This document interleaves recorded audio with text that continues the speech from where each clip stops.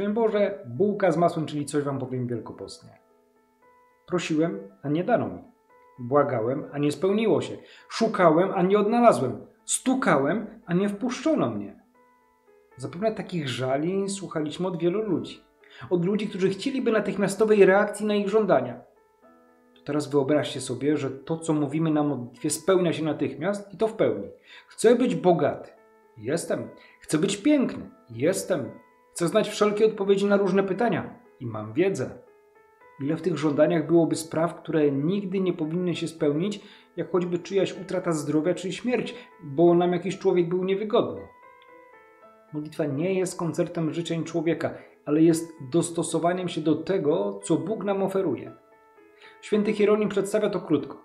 Jeśli ten, który prosi, otrzymuje, jeśli szukający znajduje, a kołaczącemu otworzą, wobec tego, komu nie dano, kto nie znalazł, komu nie otworzono, jasną jest rzeczą, że w sposób niewłaściwy prosił, szukał i pukał.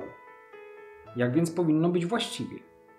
Należy wpierw postawić pytanie, skąd wypływa moja modlitwa. Jeśli jej źródłem nie jest serce, to nie będzie ona wypełniona, bo do czego innego dąży duch, a do czego innego dąży ciało. Wracam pamięcią do wtorkowej Ewangelii i modlitwy pańskiej.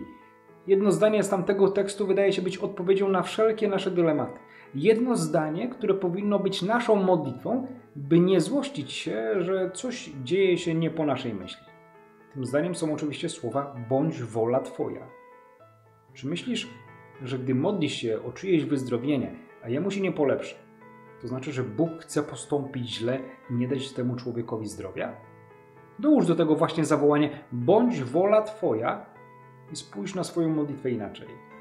Zobacz, jaki wpływ będzie miała na Twoje życie nowa sytuacja. My chcemy dobra dla innych, bo chcemy go dla siebie, ale każdy z nas ma też pisaną inną drogę życia. Jedni przejdą ją bezkolizyjnie, a inni będą poobijani. Nasza modlitwa będzie prawdziwa, po pierwsze, gdy będziemy w niej wytrwali.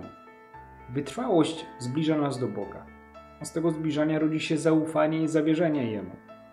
Natomiast w zawierzeniu będziemy potrafili wyrzucić z siebie wszystko to, co nie jest zgodne z wolą Boga.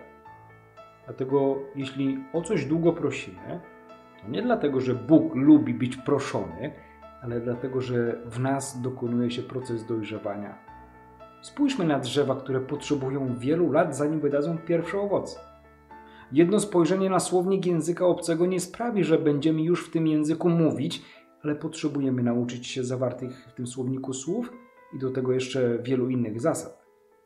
Nic nie dzieje się natychmiast, więc wytrwałość jest elementem nieodzownym w naszym życiu zawodowym i duchowym. Podczas modlitwy zatem nie możemy prosić o byle co, ale o to, co jest naprawdę dobre. Na modlitwie powinniśmy być wytrwali, bo to od niej zależy nasz ludzki los. My tymczasem chcemy działać, bo wierzymy, że tylko od naszego działania zależą podejmowane decyzje. Potrzeba jednak czasu, aby to wszystko przemyśleć i zobaczyć, co z tego będzie. Niejedna zła decyzja i zbyt pochopne działanie skończyła się tragicznie. Chcąc osiągnąć sukces, zanim podejmiemy decyzję, poddajmy ją modlitwie. Dajmy sobie czas. To jest gwarancja tego, co będzie na końcu. Gwarancja naszego sukcesu. Z Panem Bogiem.